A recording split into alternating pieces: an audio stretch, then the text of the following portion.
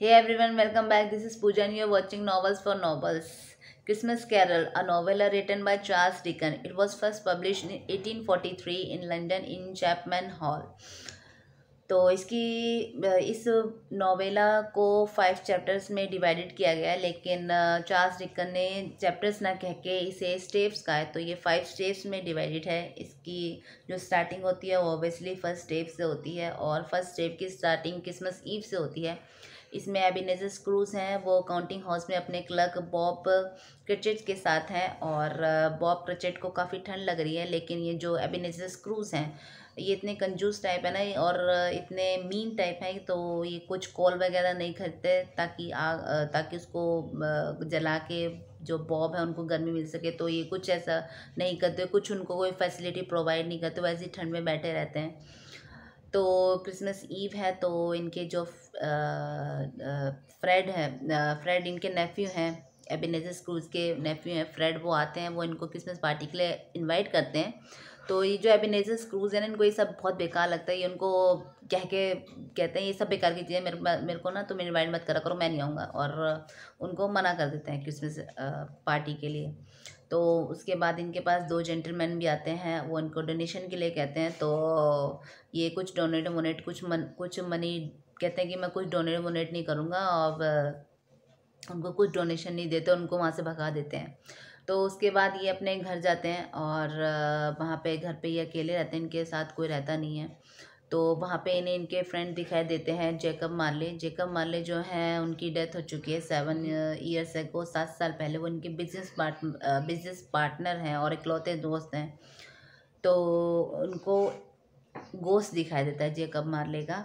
तो वहाँ पे जो जेकब मार्ले हैं, इनका जो गोश्त है, बहुत थका हुआ सा, पीला सा और चेन्स में बंधा हुआ है। पूरी इसकी बॉडी जो है, पूरा की स्पिरिट की जो गोश्त की जो बॉडी पूरी चेन्स में बंधी है। तो वो कहते हैं कि ना, मैंने अपनी पूरी लाइफ कभी किसी की हेल्प नहीं की, हमेशा सेल्फ सर्विंग की है। मैंने कभी किसी की हेल्प नहीं की, मैंने कुछ डोनेशन नहीं किया, कुछ चैरिटी नहीं की। तो एज अ पनिशमेंट मुझे यही मिला है कि मैं इधर उधर भटकता रहूँ।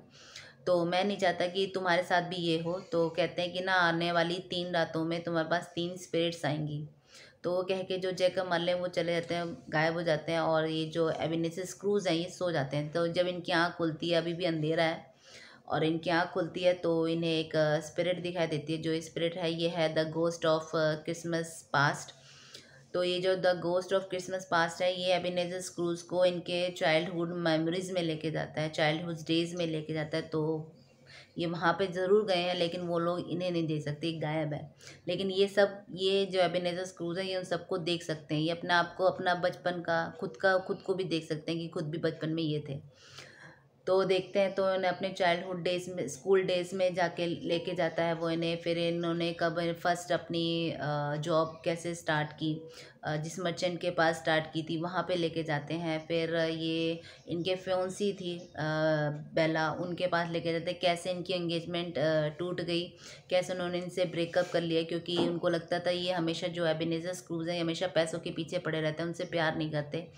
तो उन्होंने उनसे ब्रेकअप कर लिया था, वहाँ लेके जाते हैं। तो ये सब देख के जो ये एबिनेस क्रूजन को सब याद आता है और बहुत रोने लगते हैं और अपने बेड पे जाकर ये सो जाते हैं रोते रोते तो जब ऐसे ही इनकी ये सेकेंड स्टेप ख़त्म हो जो फ़र्स्ट स्टेप है, वो जेकब मालिक के जाने के बाद जब ये सो जाते हैं, वहाँ पे ख़त्म हो जाती है। सेकंड स्टेप यहाँ पे शुरू होती है, जब ये गोस्ट आता था गोस्ट ऑफ़ क्रिसमस पास्ट ये आता है, यहाँ पे सेकंड स्टेप स्टार्ट होती है और यहाँ पे अब ये सेकंड स्टेप ख़त्म हो गई है कि जब ये अपने बेड पे आ जाते हैं और ये रो रहे होते हैं अपने दिन, अपने पास्ट को याद करके।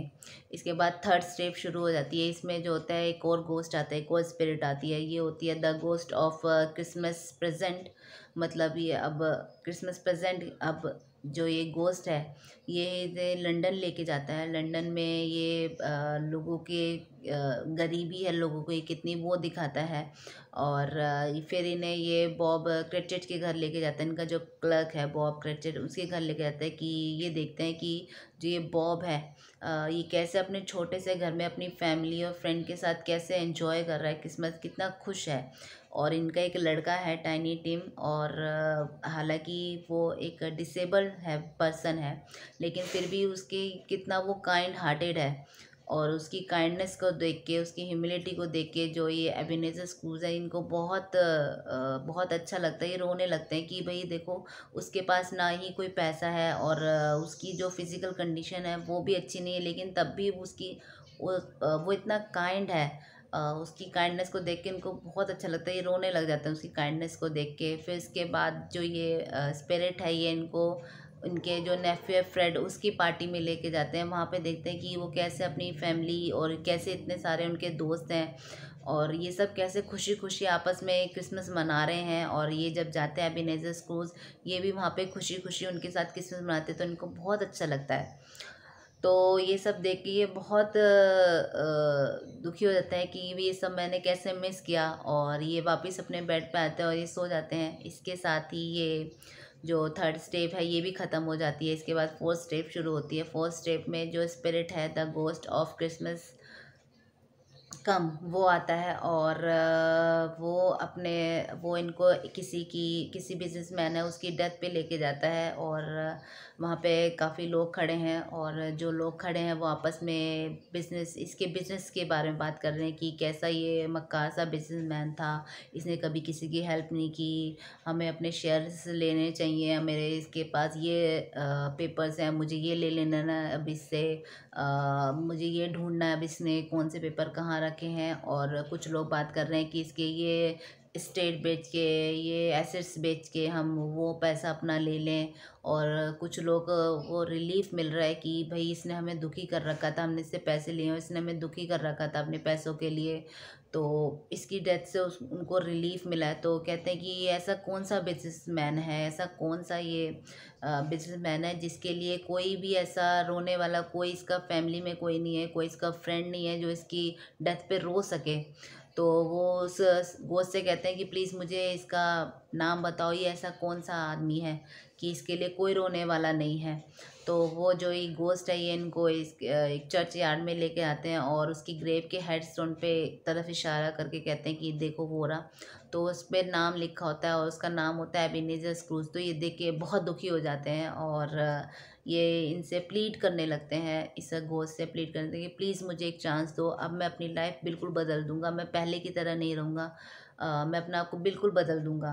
मैं मैं काइंडनेस दिखाऊँगा, मैं पहले की तरह नहीं हूँ क्रूल नहीं हूँगा पहले की तरह कंजूस नहीं हूँगा तो प्लीज़ मुझे एक चांस दे दो। तो ये कहते कहते ये सो जाते हैं और यहाँ पे भी फोर्थ स्टेप ख़त्म हो जाती है। उसके बाद फिफ्थ स्टेट स्टेप शुरू होती है और इसमें ये जाग जाते हैं और इनको खुशी होती है कि इनको वो चांस मिल गया है अपने आप को बदलने का, अपने आप को प्रूफ करने का कि बदल गए हैं। तो ये बदल जाते हैं और अभी काफ़ी काइंडनेस हो जाते हैं, ये चैरिटी करते हैं, काफ़ी ये डोनेट करते हैं डोनेशन काफ़ी करते हैं और जो इनके क्लर्क होता है बॉब उसकी ये काफ़ी हेल्प करते हैं घर वर बनाने में और जो उनका बेटा होता है बॉब का टिम उसको बिल्कुल अपनी बेटी की तरह ट्रीट करते हैं काफ़ी सारे गिफ्ट देते हैं, उनको, उनका इलाज कराते हैं टिम का।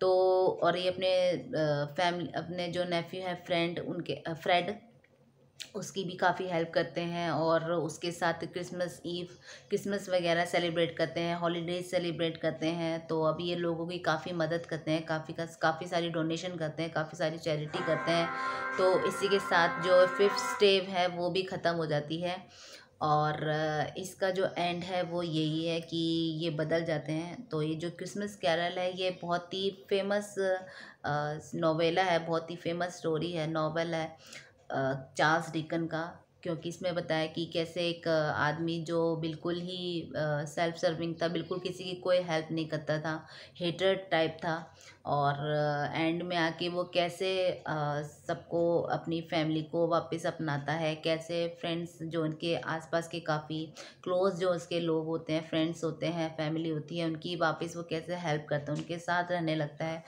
कि पैसे ही सब कुछ नहीं होता कि मनी ही सब कुछ नहीं होती लोगों के साथ एंजॉय करना, लोगों की हेल्प करना सब कुछ होता है। तो यही इसका एंड है।